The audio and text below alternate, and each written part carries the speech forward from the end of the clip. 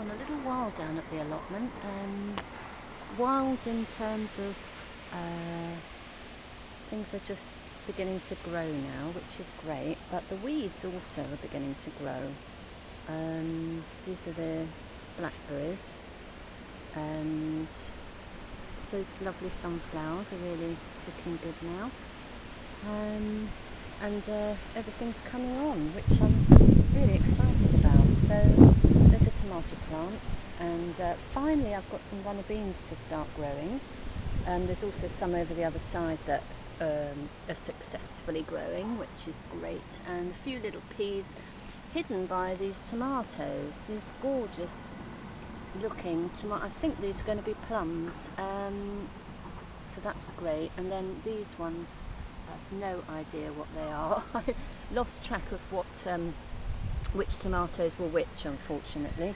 So um, yeah, and the, let's just have a quick look at these other beans over here. Everything's going crazy. Yeah, I didn't get to the courgettes in time, so they are now uh, marrows, little baby marrows. Um, but I've got some little ones coming on so I should be fine. I've got some nice yellow ones here. Looking forward to harvesting those. I've already had some for my salads. You can just see in there. Oh, they're so gorgeous.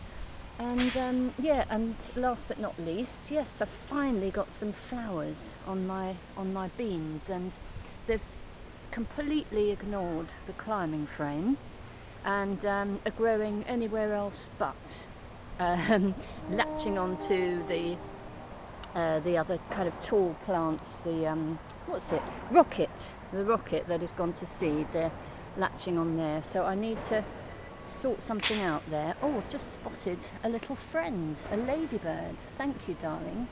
Um, keep those black fly at bay.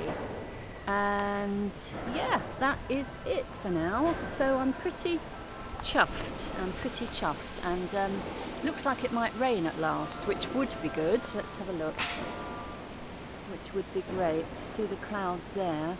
But it's been doing that for the last week and um, still haven't had any rain. So we shall see um, what the day, the rest of the day brings. Okay, that's it for now. Okay, bye.